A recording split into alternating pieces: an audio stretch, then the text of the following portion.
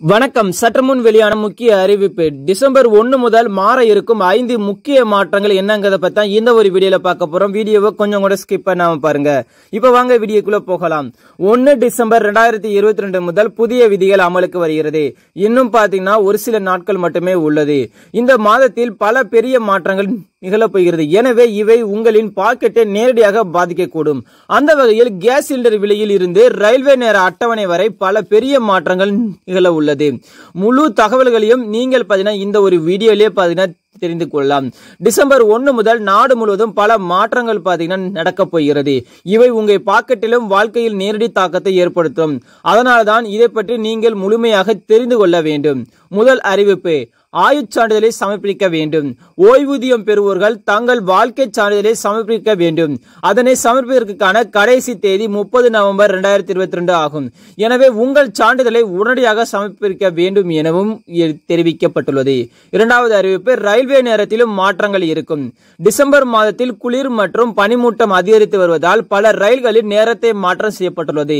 இதை தவிர கோடிக்கணக்கான ரயில்களும் ரத்து செய்யப்பட்டுள்ளது.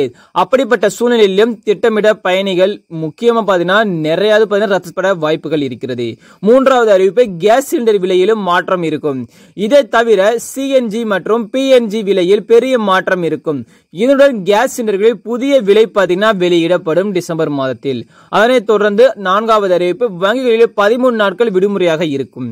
இதை தவிர டிசம்பர் மாதத்தில் பதிமூணு நாட்கள் வங்கிகளுக்கு விடுமுறையாக இருக்கும். இதில் அரசு உட்பட பல விடுமுறைகள் அடங்கும். கிறிஸ்துமஸ் உட்பட பல பெரிய விடுமுறைகளும் அடங்கும். அதே போல ஆண்டின் கடைசி நாள் வங்கிகள் மூடப்பட்டிருக்கும். எனவே அத்தகைய சூழ்நிலையில் வங்கிகளுக்கு செல்வது முன் விடுமுறை பட்டியல் சமர்ப்பிக்க வேண்டும். இது மட்டும் இல்லாமல் பார்த்தீங்கன்னா இன்னும் ஒரு சில அறிவிப்புகள் அறிவிக்கப்பட்டுள்ளது.